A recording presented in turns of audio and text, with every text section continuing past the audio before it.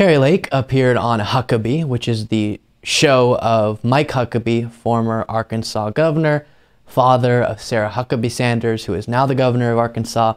And uh, it was as unhinged as ever, Kari Lake going on with all of her normal lies. And the reason why I want to watch some clips from this interview is because this still matters. And while Kari Lake has lost, she's not going to be governor, at least as of now, unless she ran in later elections. Katie Hobbs was victorious, has become governor. And so in that sense, Kari Lake is relevant, irrelevant. But the movement that she represents and the election denying thinking is very alive and well. If you look at polling within the Republican Party, so much of it is taken up by people who do not believe our election systems work unless their party wins, which is not a way that democracy can function. And so Kari Lake is one of the faces of that thinking and one of the people who perpetuates those lies. And so we do have to keep up with it. First moment I want to show you from this interview, um, she's walking in, getting introduced, but then dives into the election and I want you to take note in a few of these clips how it's so feelings based. It's so, I felt like I was wrong, the election was stolen because of these reasons, not here's the evidence um, on a factual basis that made me believe the election was stolen. Uh, first moment, take a look get it, but my guests do. Oh, they don't like so me, but they love the people that we bring to the theater. How That's many the thing. Arizonans do we have out there? Any? We got some Arizona people? Hello. Ah. I see them over there. You know what they're doing? They're all uh, moving to Tennessee, I think. I 'Cause well, I'll tell you They're what. so frustrated with this election. We're all frustrated with this. Arizona's a red state. We're a conservative state, and to watch our elections be taken like this, and that's why. It's a strange point to start off with. Obviously, Arizona does have kind of a purple political breakdown, but Biden won Arizona. Then uh, we also have Mark Kelly and Kyrsten Sinema, who are both. Well, Mark Kelly's a Democrat. Kyrsten Sinema used to be a Democrat. Now she's independent. Both not Republicans, is my point. As the senators from Arizona, then you have uh, Katie Hobbs winning the gubernatorial race. The Secretary of State was a Democrat. Clearly, Arizona has shifted, at least for the time being, in a blue direction. And uh, so that's definitely not the proof that your election was stolen, but okay. Well, I'm still fighting because I know what I saw on the campaign trail. We saw crowds like this Yep. every single day, and the people are so excited, and we want to keep our state sane. And I ran against somebody who didn't even get out of her basement. Yeah. So we know um, funny business when we see it, and that's why we're going to continue to fight it in the courts. So she had big crowds, similar to what Trump used to say. I had such big crowds, how could I have lost? And she knows funny business when she sees it. That's not exactly uh, the way you come to a conclusion as huge as my election was stolen from me. Here is Mike Huckabee sharing that similar sentiment of we all thought you were going to win, so it's just shocking that you didn't. campaign, Governor, they started behaving. So I'm watching this whole race. I'm thinking, well, there's one race I'm sure of, and that's Kari Lake is going to be governor of Arizona. And, uh, you know, we kind of go to bed that night thinking it's all going to go that way. And so that also reminds me of the Trump response to his election of we all thought we had it in the bag. There was a lot of good numbers coming in early in the night and then big dumps, big massive dumps came in later in the night of Biden votes and that's why it was all stolen. Then you look in the details and it makes total sense. Trump fearmongered about mail-in voting. Mail-in votes took a longer time to get counted, so they got counted later on. So then it shifted in a blue direction in certain areas. Not shocking, just counting the votes that should be counted that were legitimately cast. And so here with Kari Lake, and in this case, Mike Huckabee saying, We all knew you were going to win. We just knew it.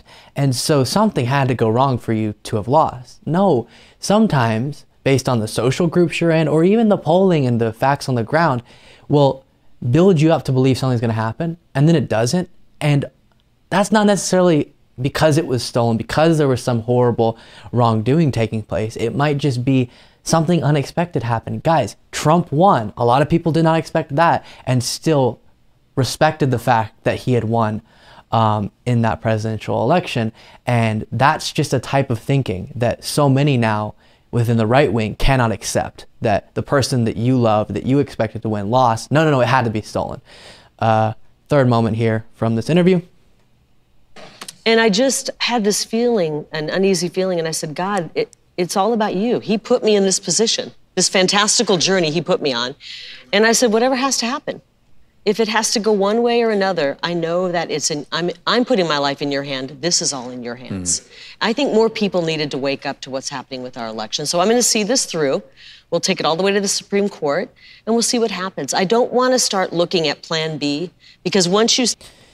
So you heard at the beginning there, she said, I just had this uneasy feeling, referring to the election. Okay, that's not evidence. That's your feelings.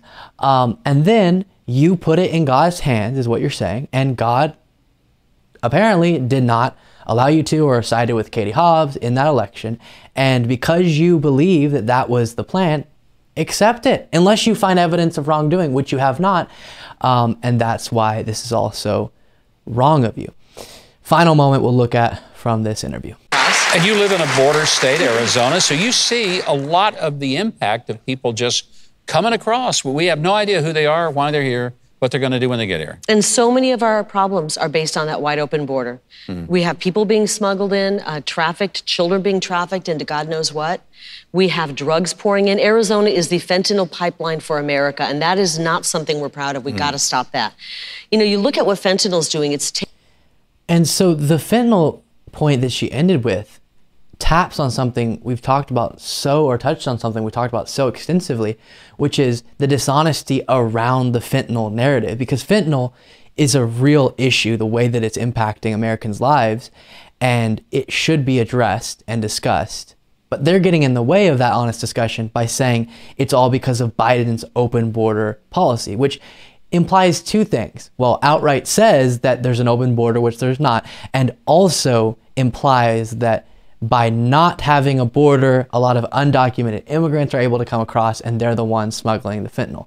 When we've talked about the vast majority of fentanyl is attempted to come across through legal ports of entry. So undocumented immigrants wouldn't be attempting to do that. That would be uh, individuals who think other than the fentanyl, they could get across legally, if that makes uh, sense. So that's just very dishonest in the way they talk about that subject, which shows they don't actually want to address fentanyl um, and the issues surrounding it. Then you get to the beginning of that clip where they're talking about just the open border and how anyone can come across freely.